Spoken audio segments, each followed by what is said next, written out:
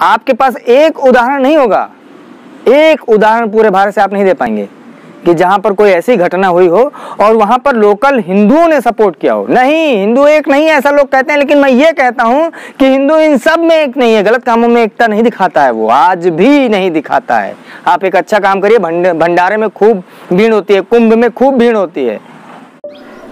एक दशक पूर्व इसी भारत में एक विशेष समुदाय को यह समझाते थे कि आईएसआईएस उनकी ताकत है। आईएसआईएस उनको आज़ादी दिलाएगी।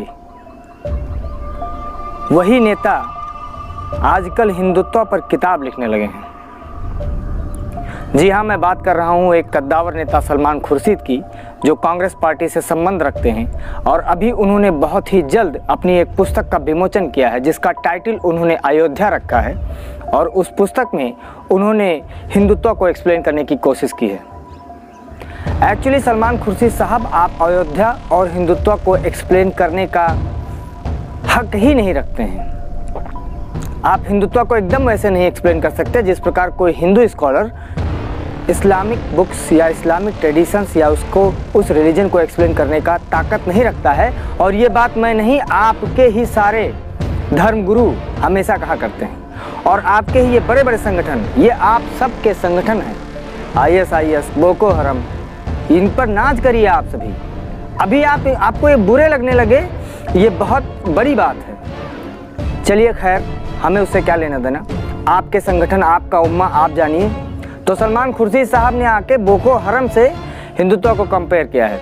तो सलमान खुर्शीद साहब, मैं अपने दर्शकों को ये ज़रूर बताऊँगा कि बोको हरम क्या है। बोको हरम एक इस्लामिक संगठन है, जो नाइजीरिया में काम करता है और उसका काम सिर्फ़ और सिर्फ़ बच्चों जैसे 10 या 5 साल से नीचे के बच्चे उनको बम लगाकर उड़ा देना। ऐसी जगहों पर भेजना जहाँ गैर गैर मुस्लिम लोग रहते हैं और वहाँ पर उन बच्चों को बम की तरह इस्तेमाल करना ये बोको हरम का काम है। बोको हरम वो संस्था है जो आ, सेक्स स्लेव्स बनाती है मतलब औरतों को वो भोग विलास की वस्तु समझता है। बोको हरम वो है। बोको हरम लोगों को बीवियों को छीन लेता है। बोको हरम लोगों के बेटियों को छीन लेता है। बोको हरम लोगों के बच्चों को उठा लेता है। और ये कभी कभी नहीं, हर रोज हर रोज होता है। आप सलमान खुर्शीद साहब, आपको भारतीय राजनीति ने एक नाम क्या दे दिया?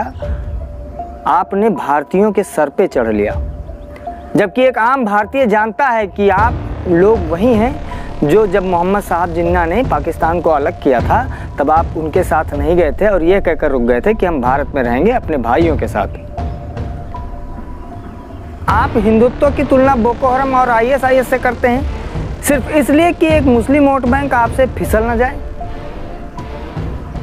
जबकि हिंदुस्तानी मुस्लिम का डेफिनीशन कुछ और था विश्व में। पूरे विश्व में, और वो डेफिनीशन आप जैसे नेताओं ने नहीं बना के दिया था। ये जानिए सलमान खुर्शीद साहब, वो डेफिनीशन जो वो परिभाषा जो भारतीय मुसलमानों को मिली थी, वो भारतीयता की वजह से मिली थी और भारतीयता हिंदुत्व से जुड़ा हुआ शब्द है। आप उस गौरव को खोना चाहते हैं। आपको आपके ही पार्टी के गुलाम नबी आज़ाद ने भी टोका होगा। मुझे, मैंने टीवी पर देखा है।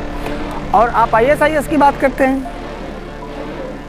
आईएसआईएस घर नहीं उजाड़ता है, या किसी रोड एक्सीडेंट में किसी दूसरे समुदाय का व्यक्ति नहीं मर जाता आई एस आई एस के कारनामों से।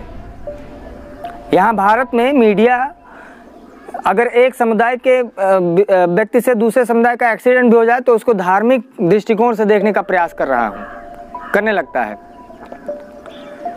मैं एक आम भारतीय नागरिक हूँ। मैं एक आम हिंदू हूँ। जो आपको ये सलाह दे रहा हूँ कि मैं मैं कोई नेता नहीं हूँ, ना मैं किसी पार्टी का प्रवक्ता हूँ। और मैं अपने दर्शकों से भी चाहूँगा कि सलमान खुर्शीद के लिए कमेंट्स करें और उनको बताएँ, उनको एहसास होना चाहिए कि yes he has done wrong उसने गलत किया। आईएसआईएस वो है जो लोगों को गोलियों से मार देता है, जो लोगों को गर्दनें काटने के लिए कहता है और ये सब आपके धर्म ग्रंथ में लिखा है, ऐसा आईएसआईएस कहता है। मुझे हम सबको अच्छा लगता, हम पूरे भारतीयों को अच्छा लगता कि अगर आप एक किताब लिखते peaceful Israel how to get peace in Quran कुछ ऐसा लिखते आप। तो उसके आप विशेषज्ञ थे। लेकिन आपने लिखा कि Hindutva is equal to I S I S Hindutva is equal to Boko Haram Salman Khurshid साहब, होश में आइए। इस जनता ने आपको पहले भी जवाब दिया है। आप इसको इतना मजबूर मत कर दीजिए कि वाकई में आप कांग्रेस मुक्त भारत ही हो जाए। और कांग्रेस की मुक्ति के पीछे आप लोग उसका बड़े कारण आप ही हैं। आप लोग तो आप लोग अपने आप को प्रूव करने के बजाय दूसरे को गलत सिद्ध करना चाहते हैं। जैसे कि चोर चोरी करे और सीना चोरी भी करे। रिटाइलेशन कभी भी टेररिज्म के अंडर नहीं काउंट होता। रिटाइलेशन एक सेकेंड वर्ड है। अटैक एक सेकेंड वर्ड है। तो इन सब चीज़ों को शब्दों को आप समझिए। हिंदू सिर्फ़ रिस्पांस कर दे रहा है। अगर वो मारा जाता है तो वो कहता है हाँ मुझे मत मारो। बस।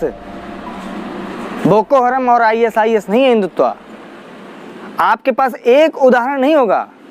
एक उदाहरण पूरे भारत से आप नहीं दे पाएँगे कि जहाँ पर कोई ऐसी घटना हुई हो और वहाँ पर लोकल हिंदुओं ने सपोर्ट किया हो। नहीं, हिंदू एक नहीं है, ऐसा लोग कहते हैं, लेकिन मैं ये कहता हूँ कि हिंदू इन सब में एक नहीं है। गलत कामों में एकता नहीं दिखाता है वो, आज भी नहीं दिखाता है। आप एक अच्छा काम करिए भंडारे में खूब भीड़ होती है, कुंभ में खूब भीड़ होती है। आप तो कहते हैं कि आपके उसमें, जल शिव जलाभिषेक में बहुत भीड़ होती है। होती है ना, एक है हिंदू। अच्छे काम के लिए एक है। आपके जैसे बुरे कामों के लिए हम लोग एक नहीं होते हैं नहीं होना चाहते। ये जानिए आप सब। तो मैं अपने दर्शकों को बताना चाहता हूँ कि जो भी लोग जुड़े हुए हैं, वो इन, इस वीडियो को देखें और कोशिश करें, शेयर इतना करिएगा कि सभी तक पहुँचे। तब तक के लिए नमस्कार।